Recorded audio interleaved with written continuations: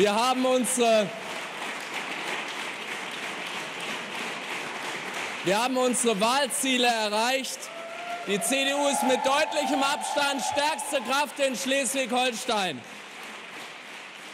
Und die Sozialdemokraten mit weit unter 30 Prozent und damit mit einem ihrer historisch schlechtesten Ergebnisse. Damit ist klar, die Küstenkoalition ist abgewählt.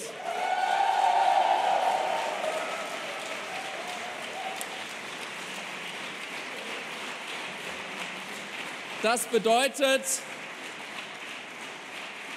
die Wählerinnen und Wähler haben Daniel Günther und der CDU in Schleswig-Holstein einen klaren Regierungsauftrag erteilt.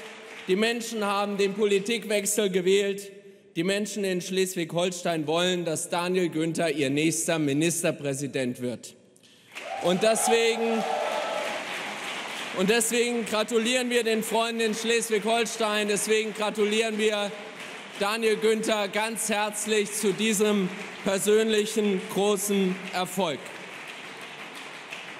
Ich will als Generalsekretär aber auch sagen, ich bin stolz auf die CDU, ich bin stolz auf uns.